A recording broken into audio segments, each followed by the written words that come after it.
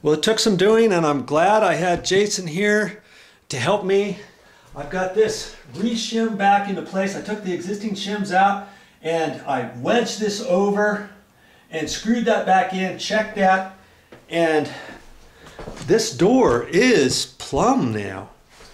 If I hold my level on the side of it, and the bubble is right in the middle, if anything, I cheated it uphill just a little bit because I know it's going to slide down eventually. And so my next step, and you know, this is unorthodox because I have to cut the door jamb. My next step is to cut the door jamb off. And I've got to cut it off about a half an inch. This side stile down here. I've already got one cut in it. See that cut? I cut it all the way across. Now I have to cut a half an inch out of that because it's still, it's still way up too high when I close the door. Here, let me show you. You remember before I had an inch up there. Well, right there. Now I've got about a little over 5 eighths of an inch. Right there. Okay, and so I want 3 sixteenths gap there because the right hand side has about a 3 16ths gap. Right over there at the top. Okay. Now normally what you do is rehang the door and all that and we can't go down any lower because this threshold is right down on the ground. So I'm just going to whack out a half inch off the jamb and then I'm going to pry this jamb down and you know with a crowbar and push it on down and lessen that gap then reattach it down here and on the sides. Okay, that's my next step.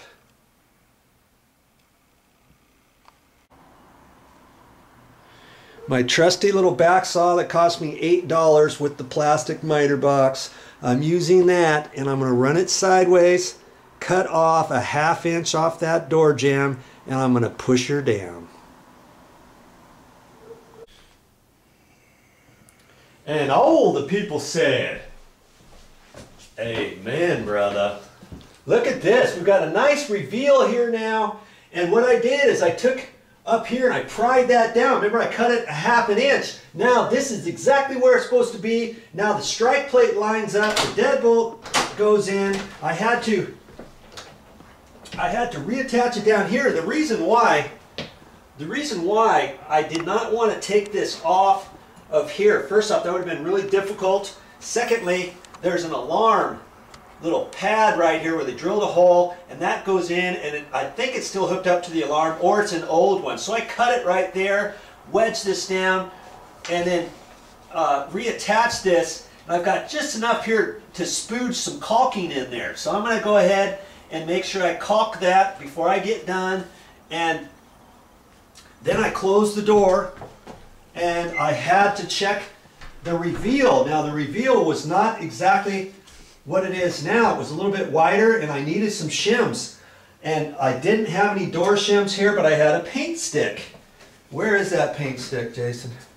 Here's my paint stick. I use this as a shim. It fit right on in where I needed it and I cut it off with the sheetrock, with my sheetrock knife. And then I had the a little piece of wood that I cut off the pine door jamb and I wedged that in there and I used that as my shim. I just pried it with a big, huge screwdriver. Got a big old screwdriver here, pried that exactly where I wanted, put the shim in, took this out, attached the shim, and now I'll go ahead and put a couple more um, screws in here. And you can use finish nails too, but I've got some, some sheetrock screws and I'll just countersink the heads and then I'll put some caulking over the top of the heads anyways. And uh, I'll have to attach my my uh, trim right here that I took off and we took that off very carefully so I have to put that back on. So there's a few more things I have to do and I even up here you remember that huge gap we had?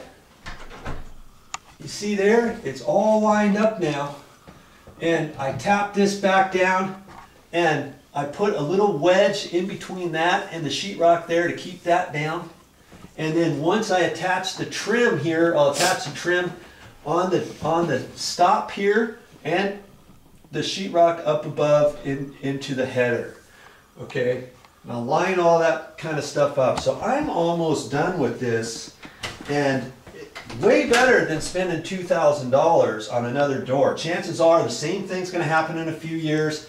This may settle more and it might have to be adjusted some more. So once I, once I plumb this up, I even plumbed it up and made it uh, level, a little bit higher than level, so that next time when this sags a little bit, I'll still have enough reveal over here before it hits the door jamb. And the door has settled too, and there's some there's some joints in here that's probably that's kinked that. So I mean, I'm just reusing everything here. I haven't spent any money yet, and I'll probably, you know, the only thing I'm going to need is I'm, I'm going to reuse the nails here and um, for the trim and stuff.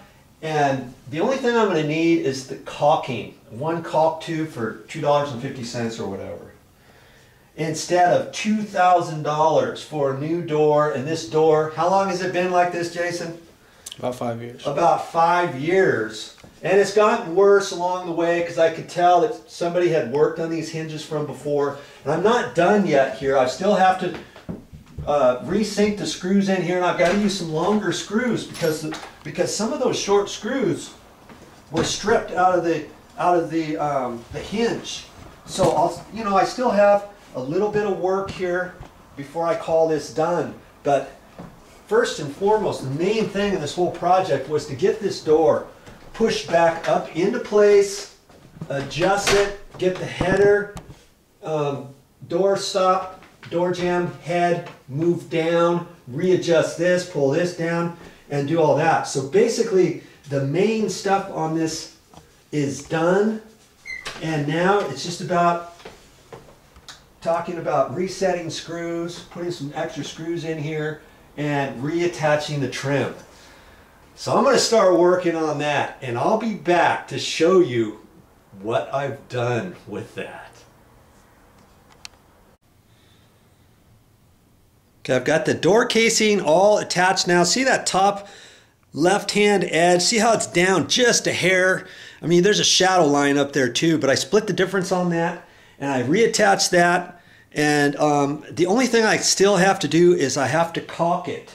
And so I'll take the caulk gun and I'll caulk this all the way around with white and I'll also do a thin bead on the outside edge. And I see a couple spots up high where the wall had cracked from before right up in there. That's that was the settling crack. See right there? And then there's another one over on this side right up in there. And there's also one on the other side of the window. See that big old crack there? That's because everything's settled.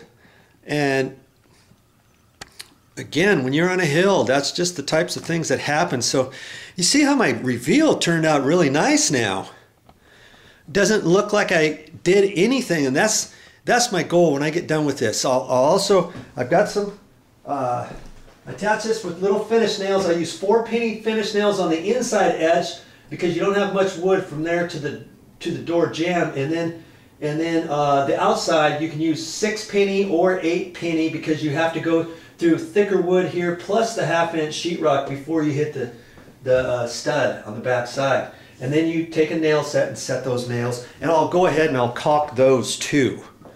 You know, am I going to use any paint here? No, I'm not going to use any paint.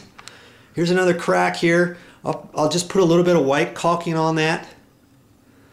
And I'll clean everything up and it will look as good as new. Oh yeah. Now here I'm just getting done over here. I put I put these screws back in and any nail holes right here I'll have to set those nails and I'll put caulking in there. Now I used some longer screws this time and I put them in. This one here you have to kind of put in at an angle because if you put it straight you're going to hit the edge of the sheetrock on the other side. So I put those in at an angle. I also put two sheetrock screws on the back side of there to su support that properly. And um, this outside trim I've put that back up. It fits in the same spot. It's getting dark now, so I've got a rush on it. But um, these, na these nails here, when I took them off, I pounded them back out. Okay, and lots of times when you do that, it's going to chip a little bit. Those are galvanized nails and they had a head. I couldn't pull them through the back side. Okay, and you could see those from before anyway, so I'll just put some caulking over that. I put this trim right in the same spot up against the grout line on the on the rocks. And then I'll, I'll caulk that and I'll caulk the inside corner, uh, the edge all the way down. And I also put this piece of trim back on here.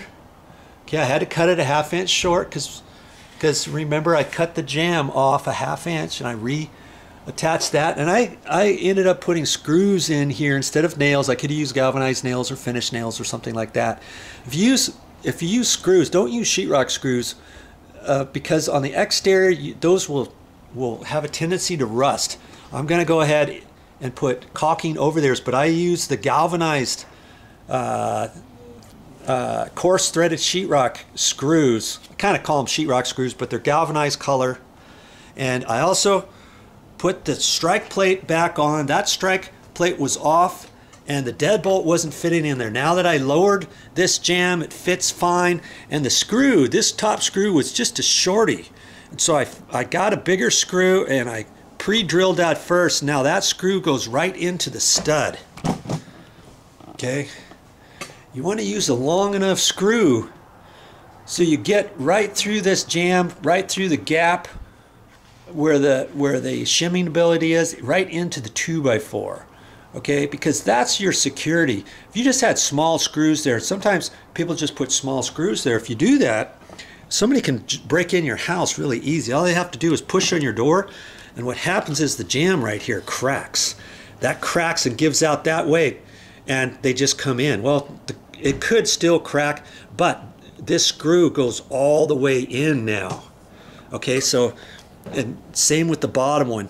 Now, sometimes they have a different plate you can put on, not for this type of strike, but a different type of strike for a deadbolt. And it will have a backing plate that you can put two screws and two screws, and then you put the, the, the finished screws on the outside over another plate, and then that will give you more security and safety. Okay? Man, I'm almost done. Thanks for joining me. Well, I got everything caulked and it's just all about cleanup now. I'm all done. I got this all taken care of in one day. Okay, took some doing and I'm glad Jason was here to help me. You might need somebody to help you. If so, grab a friend.